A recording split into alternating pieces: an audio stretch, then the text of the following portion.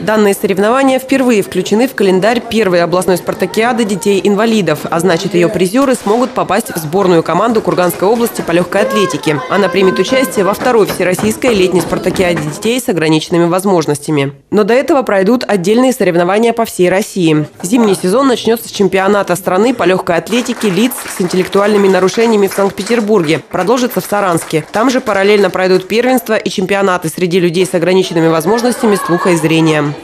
Фактически ну, порядка трех-четырех стартов э, у деток будет до э, главного события вот этого спартакиады летнего. У нас не у всех есть календари, например, э, ну есть региональные соревнования, а соревнований масштаба, например, Уральского федерального округа или окружного масштаба какого-то другого у нас, к сожалению, нет. То есть у нас сразу же с областных соревнований идет выход на спартакиады, значит, первенство России и чемпионаты России, соответственно. За право попасть в областную сборную и участвовать во второй всероссийской спартакиаде детей-инвалидов на этот раз боролось 150 участников. Только на дистанции спринт было 24 забега. Это воспитанники Варгашинской и Веденской школ-интернатов, представители Каргопольского района, Шумихи, школьники из поселка Лебяжье, 25-й Курганской школы, 11-й, 12-й и 16-й Шадринских специализированных школ.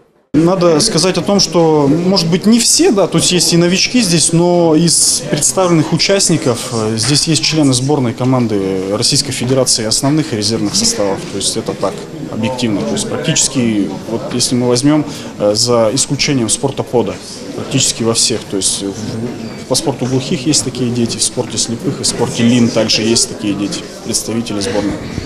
За два часа соревнований их участники, девушки и юноши, показали свои физические возможности в беге на дистанции 400 метров, 60 метров и на 1500 метров. Кроме медалей и грамот в личном зачете команд победительниц, собравших наибольшее количество очков, ждали поощрительные кубки.